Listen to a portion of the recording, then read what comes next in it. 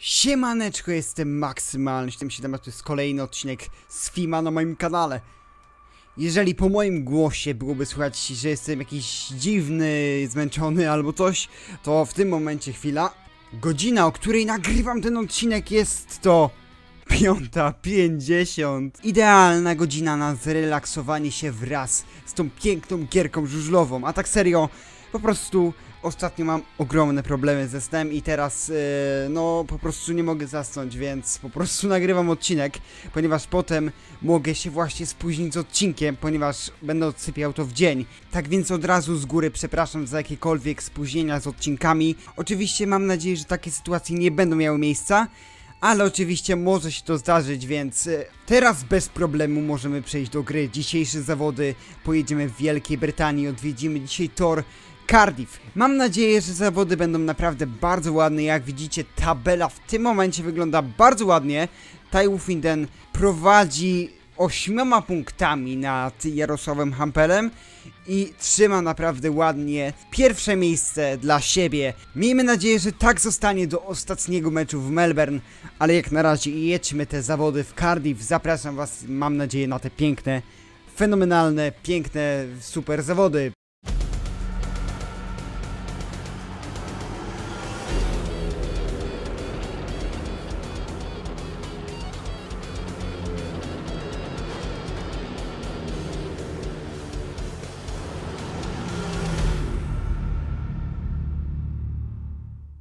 Jesteśmy już w meczu i mam nadzieję, że zawody będą piękne. Dzisiaj rozpoczął się sezon PG Ekstraligi.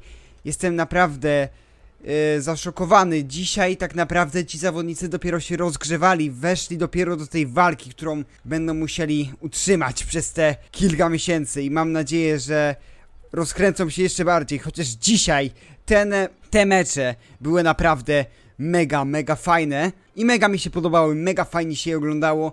Eee, najbardziej chyba zadziwił Gozów, który wygrał w Lesznie. Faworytem zdecydowanie był tutaj gospodarz, czyli leszczyńskie byki, ale jednak jakimś, może nie cudem, ale naprawdę piękną walką Gozów wyrwał zwycięstwo. Mam nadzieję, że ja w tym meczu również wyrwę zwycięstwo z rąk moich rywali. Wow, ale żebym został. W tym momencie zobaczmy, jak tutaj pojedziemy. Eee, gdzie tutaj by się napędzić? Oczywiście wyzwanie obowiązuje. A wyzwanie jest oczywiście takie, żeby wyprzedzić po... Wow, wow, wow, za szeroko. Po na przykład teraz po małej, czyli Grega Hancocka musimy wyprzedzić po zewnętrznej części toru. Najbardziej dzisiaj taką dziwną sytuacją, która była e, w świecie żużlowym, e, była to sytuacja, kiedy Piotr Pawlicki bardzo ostro wjechał w karczmarza, po czym miał do niego pretensje. Nie rozumiałem decyzji e, tutaj, nie wiem, co chciał zrobić Pawlicki, ale wjechał w karczmarza, Karczmarz położył się na kole Pawlickiego, bo nie miał co zrobić, zahaczył się chyba o hak kołem. W ogóle wyprzedziłem wszystkich podczas mówienia. Nie miał co innego zrobić karczmarz, tak więc się położył na motocyklu, próbował się jakoś ratować, a potem Pawlicki wstaje i mówi Co ty gościu robisz? No halo, ja tam jechałem, no. Są to oczywiście ogromne emocje i ogromna adrenalina na to, że tak więc pretensji do żadnego z zawodników nie można mieć, ale jednak była to wina e, Pawlickiego.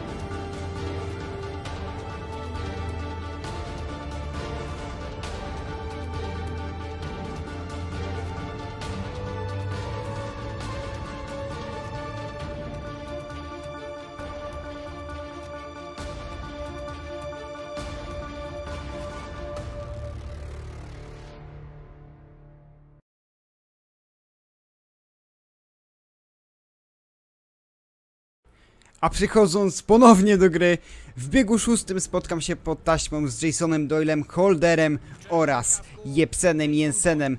Naprawdę stawka bardzo ładna w tym biegu. Wszyscy tutaj mogą pokazać... Oj, trzymam y, tego kapsloka i Q.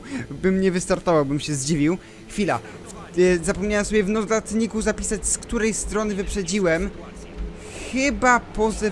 Po małej, po małej wyprzedziłem. Dobra, już sobie zakodowałem wszystko. Po zewnętrznej teraz wyprzedzamy. Po zewnętrznej wyprzedzamy Jasona Doyla, ścinamy do krawężnika. Teraz piękna prędkość. Chyba te rozpoczęcie PG Ekstraligi dało mi ogromną moc i dodało mi skrzydeł w tym filmowskim świecie. W tej grze, która dodaje naprawdę mnóstwo emocji. W tym momencie atak na Holdera. Mocny wjazd teraz Australijczyka. Wyprostowałem motocykl. W tym momencie miałem ogromne, ogromne szczęście, że tam nikogo nie było. W tym momencie muszę poczekać na Holdera, żeby móc napędzić się po zewnętrznej. Szerzej, żeś nie mógł pojechać Holder, wiesz? No niestety, przegrywam bieg z Holderem. Dzisiaj dwóch braci Holderów również mogliśmy zobaczyć na meczu na Motoarenie wraz z Falubazem Zielona Góra. Jechali tam dwójka bardzo dobrze sprawujących się braci Holderów, dwóch Australijczyków. Naprawdę pokazywało ogromną klasę. Mecz również był bardzo zacięty i tym razem Toruń pokazał, że on jest górą. Zobaczymy, czy w Zielonej Górze Falubas będzie w stanie się odgryźć. Dobra, już zapisałem sobie wszystko w notatniku, tak więc w tym momencie atakujemy od wewnętrznej części toru. E, w tym biegu oczywiście jadę z Jonasonem Bachelorem oraz Matejem Żagarem. Bardzo, bardzo chciałbym zobaczyć nowy cykl serii Film Speedway Grand Prix. Bardzo, bardzo chciałbym zobaczyć nowych zawodników. W ogóle tryb ligowy byłby super. Mega by mi się fajnie grało, na przykład jakąś z drużyn z prawdziwego świata. Czy to na przykład jakimś, wow, ee, na przykład, e, nie wiem, falubazem, lesznem, nie wiem, gorzowem, rowem rybnik na przykład z pierwszej ligi. No, takie fajne pomieszanie lig i walczenie własną drużyną. Yy, wow, własną drużyną, albo w ogóle tryb kariery, to by było też super. Zaczynamy od... Gdzie jest ten Tomas Jonasson? Ja muszę go po zewnętrznej wyprzedzić, chodź tu. Ten tryb kariery byłby też super, ponieważ wtedy moglibyśmy piąć się po szczeblach e, kariery sami. Czyli na przykład zaczynamy od... Ajajaj, jedynka będzie. Jedynka będzie. Musiałem go wyprzedzić po zewnętrznej, tak więc ten punkt ląduje na koncie Jonasona. I teraz kontynuując temat, który musiałem przerwać. Wyobraźcie sobie, zaczynacie od drugiej ligi i sami budujecie swoją karierę. Na przykład budować swoją markę, budować swoje własne nazwisko w, w świecie żużla i na przykład potem dostać się do PG Ekstraligi jeździć. Gdzie ja w ogóle pojechałem jakoś szeroko, mega.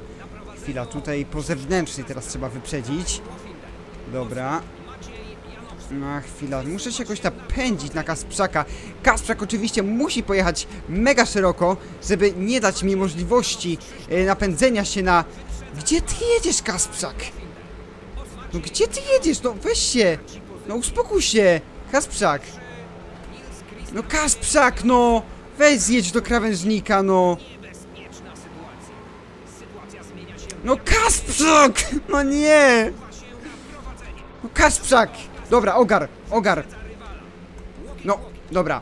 Się zdenerwowałem teraz. To jest już serio. Słabe. No i gdzie ty jedziesz, no? Dobra. To naprawdę już mnie zdenerwowało bardzo. W tym momencie byłem tak już zirytowany, tak poddenerwowany przez tego Kasprzaka, który jedzie non-stop trasą, którą ja chcę pojechać. Zobaczcie, próbuję się napędzić, nie mogę go wyprzedzić z tej strony, ponieważ w wyzwaniu jasno jest powiedziane, że muszę wyprzedzić, tutaj wezmę wam myszkę, muszę wyprzedzić go po zewnętrznej, czyli odwrotnie jak do poprzedniego biegu. No, dokładnie. Trochę nie po polsku, po prostu Po prostu muszę wyprzedzić go po zewnętrznej, ponieważ w ostatnim biegu zaczynałem wyprzedzać rywali od wewnętrznej części toru. I zobaczcie jak on wrednie jedzie. Zobaczcie jak on bardzo wie gdzie ja chcę pojechać. W tym momencie nadziewam się na koło Kasprzaka i w tym momencie zdeterminowany. W ogóle zobaczcie jak on jedzie, no po prostu. Zobaczcie jak on dziwnie jedzie. Ja rozumiem, że wjechałem w jego koło. Ja to wszystko bardzo dobrze, pięknie rozumiem. Ale, ale, tutaj jest bardzo duże ale. Zobaczcie jak on pojechał. Jedzie sobie Kasprzak, pięknie, super jedzie. Fajnie sobie jedzie, już się wkłada i nagle zaczyna lecieć w płot, jakby nigdy nic. I zobaczcie, zobaczcie, czy to jest... Znaczy, dobra, na powtórkach to jest faktycznie więcej miejsca niż mi się wydawało, że mam.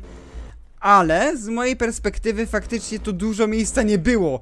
Zobaczcie, z mojej perspektywy faktycznie tego miejsca było bardzo mało i tam naprawdę ciężko było się zmieścić i pojechać w miarę sensownie. Po bandzie pojechałem, już nie miałem co zrobić, po prostu mówię, jadę po tą jedynkę, bo ten Kasprzak w tym biegu pojechał tak wrednie, że naprawdę daje ci w tym momencie Kasprzak na czarną listę w tej grze. Zobaczymy z kim pojedziemy w biegu 18. Jest to Chris Harris, Style Finden, oczywiście to ja.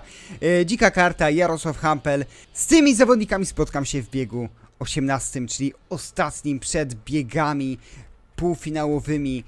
I w tym momencie zobaczcie, że mój stan motocykla bardzo, bardzo, bardzo się pogorszył, ponieważ wjechałem w płot przez Krzysztofa Kasprzaka. Dobra, już przestanę się tak e, tutaj na niego rzucać. Oczywiście dziwnie jechał, no ale no jakby nie patrzeć walczył i walczył bardzo ładnie, ponieważ jak najdłużej było to możliwe, utrzymał mnie na pozycji ostatniej. Lecimy, lecimy bieg. Chwila, wtedy wyprzedzałem po zewnętrznej, tak więc teraz patrzcie jak pięknie. Wiecie co? Szczerze mówiąc, przez to wyzwanie zauważyłem, że o wiele bardziej wolę zaczynać wyprzedzać od wewnętrznej części toru. To jest naprawdę bardzo fajne, ponieważ nie wiedziałem tego kiedyś. Nie widziałem tego, że wolę zaczynać od, od wewnętrznej, przepraszam bardzo, e, a potem mogę już wyprzedzać po zewnętrznej. Dobra. Nie umiem mówić, ale wiadomo o co chodzi. Teraz lubię sobie wyprzedzić po zewnętrznej, tylko moja prędkość motocykla jest słaba. Albo ja jestem słaby, zależy jak na to patrzeć. Chwila, no ten Harris ma taką prędkość. Daj motorek, nie! Znowu jedynka, znowu jedynka, niestety znowu jedynka. I teraz moje pytanie wygląda w następujący sposób. Czy ja dostaję się do półfinału? Czy ja się dostaję do półfinału? Jak perfekcyjnie! Nie, chwila. Nie cieszę się jeszcze. Niki Petersen jedzie i wypadam z półfinału. Ajajajajaj, niestety. Niestety wypadam z tego półfinału. A, bardzo ciężkie to było Grand Prix. Szczerze mówiąc, muszę powiedzieć, mój tutaj oczywiście udział się skończył, ale jadą oczywiście też biegi półfinałowe. Ja przewinę... Nie! Chciałem tylko do finału przewinąć i wam pokazać. Kurczę! Dobra, nieważne. Przewinąłem ten finał, ale mamy widocznych trzech zawodników, którzy wychodzą z tego meczu z medalami. Jest to Jarosław Hampel, Niki Petersen oraz Matej Żagar. Ja na miejscu dziesiątym z dorobkiem 8 punktów po 5 startach. Jest to naprawdę wynik nie za dobry, ale mogło być gorzej. Dzika karta 1 punkt i Michael Ibsen Jensen 1 punkt.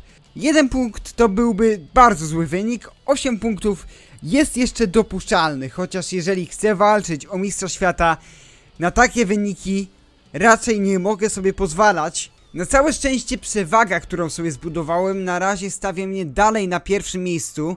Utrzymuję tego Mistrza Świata po zawodach w Cardiff, ale, ale, tutaj jest duże ale ponownie, Jarosław Hampel ma 3 punkty straty. Tylko 3 punkty straty to jest tak naprawdę jeden bieg dla mnie na zero, a dla niego jeden bieg wygrany. To jest naprawdę teraz ciężkie do utrzymania i walka będzie ogromna. Naprawdę ogromna walka, naprawdę trzeba będzie powalczyć, trzeba będzie jeszcze bardzo dużo wysiłku włożyć, żeby to wyzwanie ukończyć na pierwszym miejscu. Ale o to właśnie w tym chodzi, żeby się działo, żeby była zabawa i żebyście mieli z czego się śmiać. W tym Grand Prix to by było na tyle, ja kończę na 10 miejscu. Kontynuujemy i mamy 1200 monet, mocno uszkodzony silnik, a za tydzień widzimy się w Łotwie. Zobaczymy jak mi pójdzie w Daugavpil z bardzo długim torze, nie najdłuższym w grze, ale jednak, ale jednak bardzo długim. Rekord toru 66 sekund. Mój rekord 55 sekund. Mój rekord 55 sekund. Mam nadzieję, że w następnym odcinku uda mi się ten rekord pobić. Jeszcze raz pokażę tabelę. W tym odcinku to by było na tyle. Ja dziękuję wam za obejrzenie tego odcinka do końca. Jeżeli dotarliście do tego momentu, napiszcie Nożyczki. Najbardziej randomowe słowo, które mogłem sobie wybrać. Nożyczki. Napiszcie nożyczki, a ja będę wiedział, że dotarliście do końca tego odcinka. Do zobaczenia za tydzień na troszeczkę dłuższym torze. Do zobaczenia. Miłego dzionka wam życzę. Trzymajcie się. Cześć.